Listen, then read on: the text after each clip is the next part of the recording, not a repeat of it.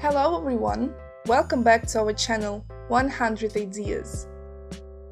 A private country house with an adjoining territory needs a proper organization of the yard.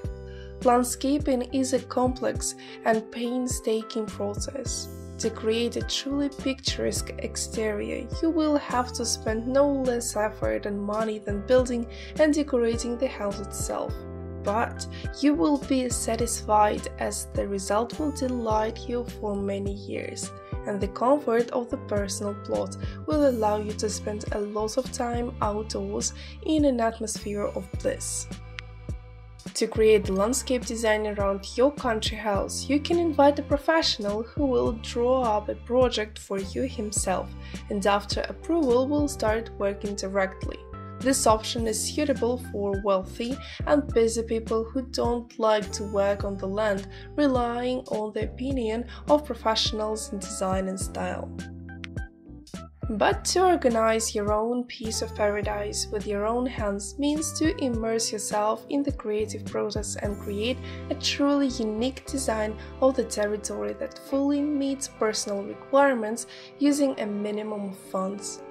Nowadays, all landscape tricks can be learned online for free. Landscaping largely depends on the characteristics of the area.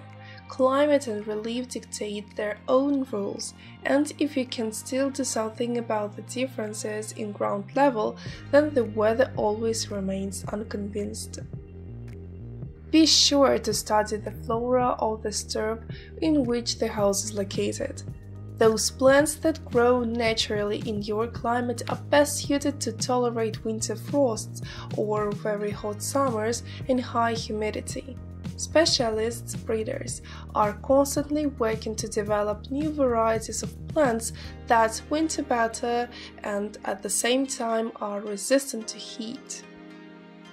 Some shrubs or flowers need to be closed for the winter in order for them to survive, for example roses, which often freeze out and are afraid of low temperatures, or thuja, which burns in early spring until the root system thaws.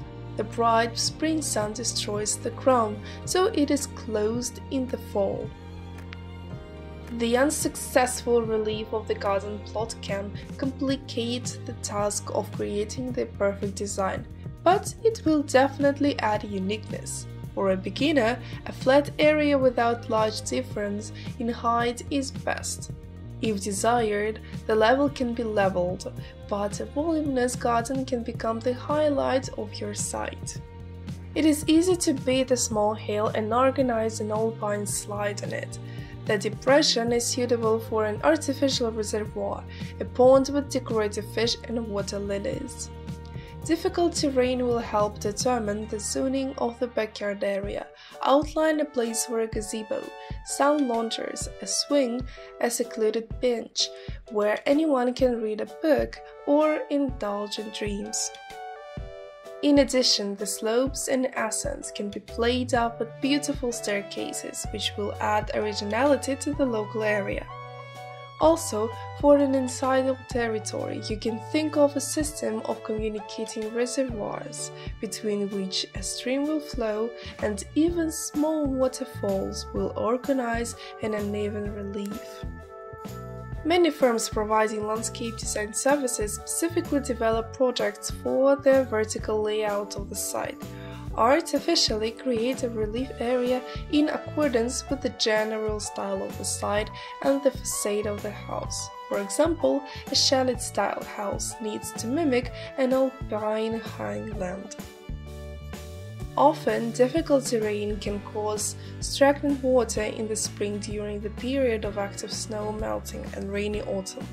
Because of this, the roots of plants planted in lowlands can rot, and to avoid this, consider a drainage system for removing water.